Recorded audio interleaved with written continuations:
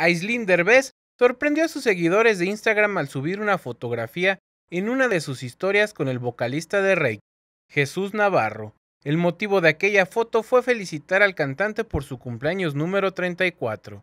En dicha imagen donde se puede observar al cantante y a la actriz, Aislinn agregó un mensaje bastante peculiar, en donde expresaba que Jesús fue a su amor platónico hace unos años y agregó que lo extrañaba. Además, los fans de Rey recordaron que Aislinn apareció en el video Qué vida la mía de la banda mexicana, el cual estrenaron hace 10 años.